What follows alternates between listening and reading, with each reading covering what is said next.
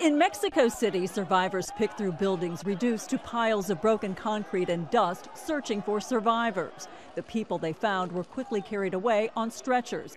86 kilometers south in Cuernavaca, parts of a road collapsed. Military trucks sped to the town center to help search for victims in several collapsed buildings.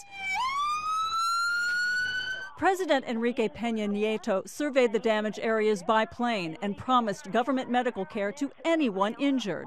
Al ser informado, convoqué al Comité Nacional de Emergencias. I order the immediate activation of the plan which coordinates federal efforts to aid the population in an emergency. The Army, Navy, and police are attending the affected areas.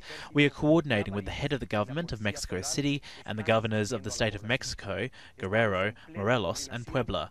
The priority at this time is rescuing those people trapped and giving medical help to the injured. Hours before the quake hit, many in Mexico City had participated in drills on the anniversary of a deadly 1985 quake. Thousands fled to the city's streets in panic as Tuesday's quake shook buildings and sent concrete from one high rise crashing to the street. At a daycare center, teachers escorted frightened children to a sidewalk outside for safety. Dramatic video showed smoke rising from several areas around Mexico City. Seismologists say more than 30 million people likely felt the quake. The epicenter was near the Puebla town of Raboso, about 123 kilometers southeast of Mexico City. The quake comes just over a week after another major earthquake shook the country, killing 98 people.